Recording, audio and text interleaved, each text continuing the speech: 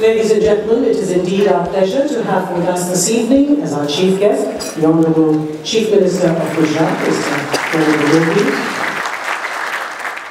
He's one of the heroes of Indian IT who, along with six founders of HCL, scripted the story of the company taking it to steep heights.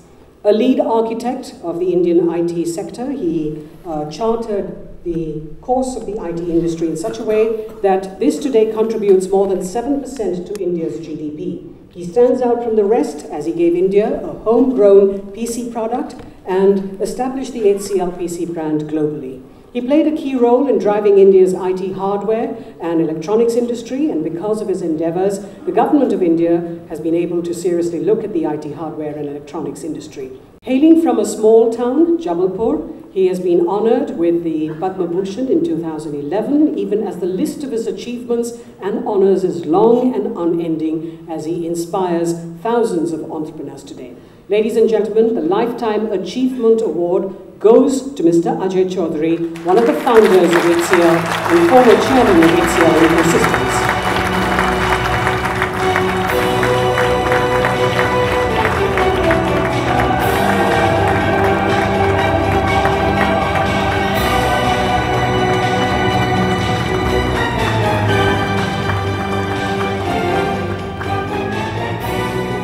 Congratulations, Mr. Chowdhry. May I request you to please say a few words? I am deeply honored to receive this award, both as a member of HCL, the IT community, and as a proud Indian. When I was preparing the speech, I found myself reminiscing over the past, over those humble beginnings of what became HCL.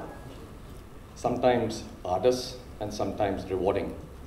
And I think that's what's led us to this moment.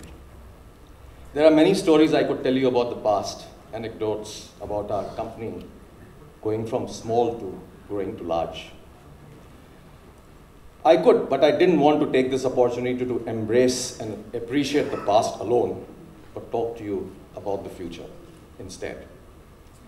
The future actually came upon me a month ago when I met, met with a team of five young Indians, and they told me that they had formed a company to land a rover on the moon before December 2015 as part of the global Google Lunar X program. Think about that. They want to land a rover on the moon. Look at the dreams our young people are embracing today. Look at what they want to accomplish in the world. And they want to do it under the Indian flag. The idea struck me as incredible and beautiful and amazing. What an audacious plan for a startup company. What a star-touching dream for, a young, for young Indian minds, hungry and eager to compete with the best and the brightest in the world. It got me thinking, why are we not looking at this kind of confidence and forward thinking in the hardware sector in India? I've always believed that Indians in India have the capability to do what they dream of. We just need to take the dream, push it, foster it, breathe life into it, and create a mindset that encourages at-home creativity. In 1976, six of us, and I'm very happy Shiv is here with us today, we started HCL and we had a dream. And the dream was, let's take the microprocessor and change the world. What did we have? 1.8 lakhs, a dream, and lots of passion. There were no VCs, and banks were loath to give loans to startups like us. What HCL did is well documented. But do you know that HCL created the first PC just when Apple was creating the world's first PC? We were a closed country, and little did we know that we were global pioneers. Starting with hardware, HCL also joined the software revolution, setting up country's pioneering software factory in 1980 in Chennai. So when I retired from HCL last year, we had grown to 6 billion and 90,000 employees. And another audacious dream had been achieved. But I have to be honest with you tonight. I have one deep-seated regret. After having initiated the hardware revolution in the country, we as a country lost our way. As we went around creating the fantastic software business, which now employs more than 3 million people, we just didn't pay enough attention to hardware. In 1999, the PM then, Sri Atal Bihari Vajpayee, set up an IT task force to look at the state of IT. And it that then just meant software. They said IT was just software. I was aghast. I went up to the task force and made a forceful presentation. And to their credit, they agreed to form a hardware task force, which I was part of.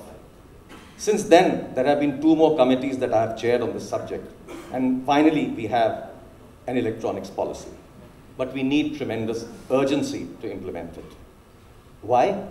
Because electronics today forms the largest import into our country. It may seem like a pipe dream, but I still harbor a dream.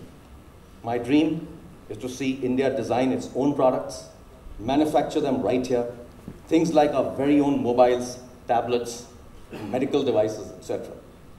A large country like ours that has the capability to innovate must unleash the power of our people to stand up and be recognized the world over for our very own electronic products, especially since electronics is strategic to a large country like ours. And of course we can do it. After all, India created the GSLV T5 and sent the Mangalyaan to Mars. And all of it with our own design and collaborative manufacturing by many Indian companies.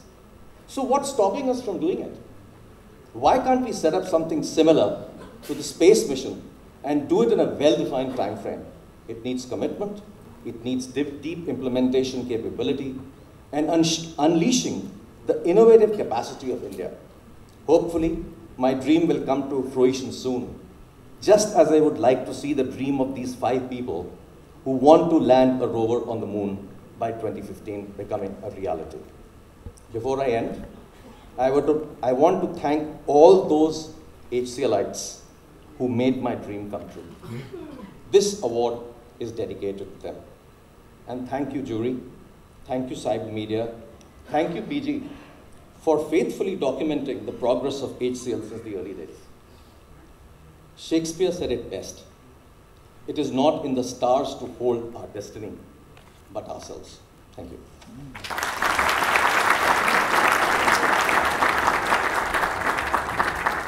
Thank you very much, Mr. Chowdhry. Congratulations once again.